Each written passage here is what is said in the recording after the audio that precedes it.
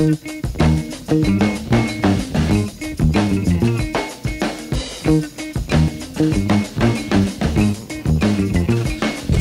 yourself. Express yourself. You don't never leave. To encourage you to take the opportunity to get the picture, but also to get the contacts and the friendships which I'm hearing from this conference can be lifelong friendships, long-lasting friendships. The DDN organisation, it's clear to me, it's more than a magazine, it's more than a series of events such as this one. The DDN community, it's a family. There's a family of people here who, obviously, for the time I've spent with folk, long-lasting, close relationships, specialist knowledge, lived experience, lots of support, lots of success, lots of tough times as well. And what is your motivation for working with people that, that um, have issues um, with uh, drugs and alcohol, related issues and various areas of social deprivation? Is it to actually help them? To really actually help them, or is it to help yourself?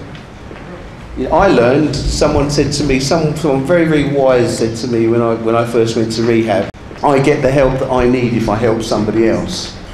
And for somebody like me who is a very, very dedicated, selfish person, it's actually helped me, helped me a great deal, and also my, my friends too. When I tell people I've had hepatitis C, they say to me, first thing, oh, are you a drug addict, or were you a drug addict? Do you think that's helpful? No, no it's bollocks. Really? Okay. And I can use that. That's not swearing, by the way, because Sex Pistols got it on the front of their album. that was proved in court. That wasn't swearing. Anyone that may have an issue with hepatitis C, we call them a patient.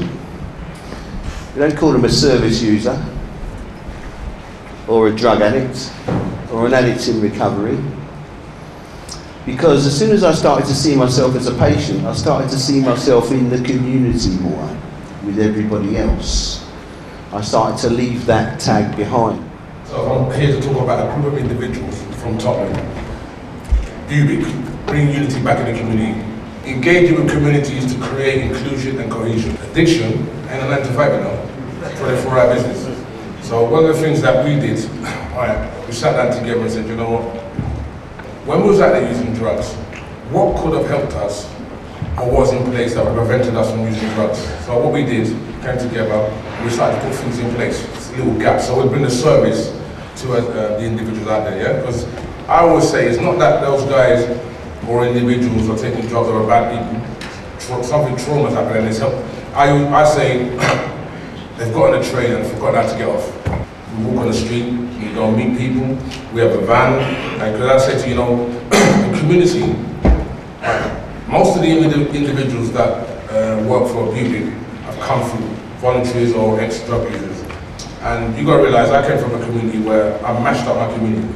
I had an excessive drug smoke, so my community paid the price.